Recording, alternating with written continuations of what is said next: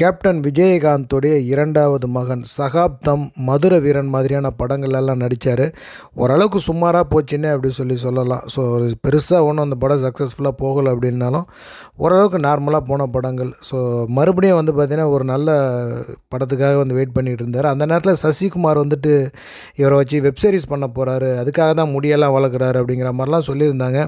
So அது என்ன ஆச்சுன்னு தெரியலை. ஸோ அது சம்மந்தமான தகவல் எதுவும் இல்லை.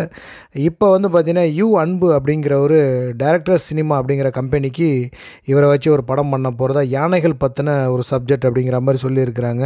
ஸோ இந்த படத்தை வந்து தயாரிக்க போகிறதும் ஒரு புது கம்பெனி தான். இயக்குனரும் வந்து பார்த்திங்கன்னா புது இயக்குனர் தான். விஜயகாந்த் மகன் வந்துட்டு வெளியே வராமல் போனது வந்துட்டு ஒரு ஆச்சரியமான விஷயந்தான் எத்தனையோ பேருக்கு விஜயகாந்த் வந்துட்டு அவரும் படத்தில் நடித்து கொடுத்து இன்றைக்கி விஜயெல்லாம் கூட விஜய் மட்டும் சொல்ல முடியாது பல நடிகரை சொல்லலாம். அவருடைய அறிமுகப்படுத்துதல்னால தான் வந்து இன்றைக்கெல்லாம் பெரிய ஆளாக இருக்கிறாங்க. ஆனால் அவருடைய மகனுக்கே வந்து பார்த்திங்கன்னா இவ்வளோ டஃப்பாக இருக்கும் இந்த சினிமா ஃபீல்டு அப்படின்னு நான் கொஞ்சம் கூட நினச்சி பார்க்கல. அநேகமாக இந்த படத்துக்கு பிறகு பெரிய அளவில் வந்துட்டு சண்முக பாண்டியன் பேசப்படுவாருன்னு நான் எதிர்பார்க்குறேன். நம்முடைய வாழ்த்துக்கள். சன் பிக்சர்ஸுடைய தயாரிப்பில் ஜெயிலர் நெல்சன் திலீப் குமார் இந்த படத்தை பீஸ்ட் படத்துக்கு பிறகு இந்த படத்தை டைரக்ட் பண்ணிகிட்ருக்கிறாரு தமன்னா இந்த படத்தில் இருக்கிறாங்க.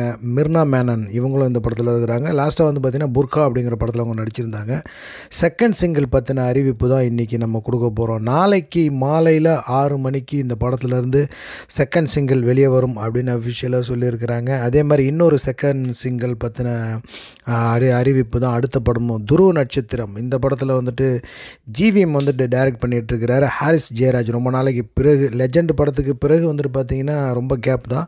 அதுக்கு முந்தைய வந்துட்டு அவர் ரொம்ப கேப்பில் தான் இருந்தார். அதுக்கு பிறகு லெஜெண்ட் படம் பண்ணார்.